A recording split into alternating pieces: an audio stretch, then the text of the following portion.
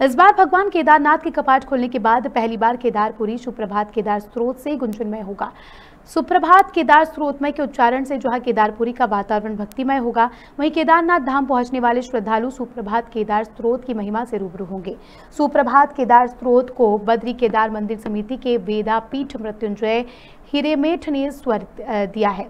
सुप्रभात, केदार स्त्रोत में पंद्रह पदों को शामिल किया गया है। सुप्रभात, केदार स्त्रोत के प्रथम दिन पदों को शिवपुराण के सृष्टि खंड के रुद्र संहिता से लिया गया है। बाकी बारह पदों को दिल्ली निवासी अंकुर नागपाल ने लिखा है। सुप्रभात, केदार स्त्रोत के उच्चारण व गायन से जहाँ ब्रह्मा बेला से ही जो है केदारपुरी का वातावरण भक्तिमय बना रहेगा। वहीं भगवान केदारनाथ के दर पर पहुँचने वाले शिव भक्तों को भगवान शंकर की महिमा का विस्तृत ज्ञान भी जो है सुनाया जाएगा। केदार स्त्रोत को स्वर देने वाले वेदापति मृत्युंजय हिरे मेठ ने बताया कि सुप्रभात केदार स्त्रोत के प्रकाशन की लालसा बहुत पहले से थी, मगर भगवान केदारनाथ की आज्ञा स्वरूप ही सुप्रभात केदार स्त्रोत का प्रकाशन हो पाया है। एमके न्यूज़ की डेस्क रिपोर्ट।